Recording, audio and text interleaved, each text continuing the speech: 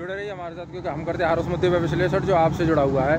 आज का मुद्दा भी किसान भाइयों को लेकर के है। जैसा कि मैं इस खेत में हूँ, धान वाले खेत में, उसमें मशीन चल रही है।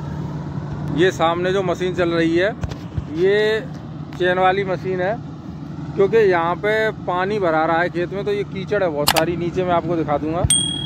ये दिख रहा होगा, ये कीचड़ है सारी।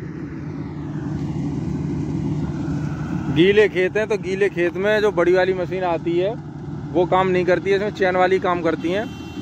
लेकिन इस बार बहुत नुकसान हुआ है, जैसा कि ये देखो धान पड़े हुए हैं, बस इतना है कि ये चैन वाली मशीन नीचे से उसे उठा लेती है। ये पूरा धान बिखरा पड़ा हुआ है नीचे, पूरा बिछ गया है। और इतनी कीचड़ है कि मेरे पैर भी इसमें गंदे हो रहे हैं। ये देखिए। तो कहने का मतलब ये है कि इसकी बारिश की वजह से लोगों का बहुत नुकसान हुआ है, और मशीन ये घंटे के हिसाब से चलती है। मैं आपको बता दूँ, बड़ी वाली छः सौ रुपये बीघे के हिसाब से चलती है और ये पैंतीस सौ रुपये घंटे चला रही है। उत्तर प्रदेश जिला एटा के अंदर।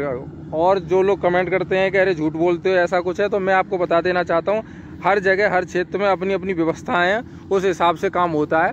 तो जो ये मशीन चल रही है, वो पैंतीस सौ रुपये घंटे के हिसाब से चल रही है बीगॉट के हिसाब से नहीं चल रही है। और हालाँकि पाँच बीघा में ये लगभग लगभग सवा घंटा लगा देती है। अब ये कौन सी स्पीड से चलाता है, किस लिए लग जाती है, पता नहीं। अब ये ट्रैक्टर की ट्रॉली में डालने गया है उसे जो ऑफ़र में भरा हुआ था। गल्ला उसे उसमें खलाने गया है। खाली होने के फिर दोबारा से लगाएगा। अभी इसमें लगभग चालीस मिनट लग चुकी हैं। ये खेत इधर आधा कट चुका है। और मैं बता दूँ कीचड़ बहुत ज़्यादा है जैसा कि आपको दिख रहा होगा। इसकी कंडीशन बहुत बुरी है पानी की वजह से। पानी इस, इस खेत में पानी इतना भरा रहा था।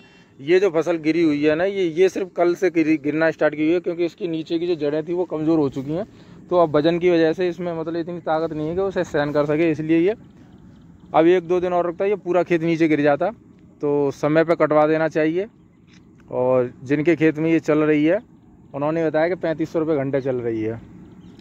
अगर वीडियो पसंद आई हो तो लाइक, शेयर, कमेंट ज़रूर करिए। ये आपका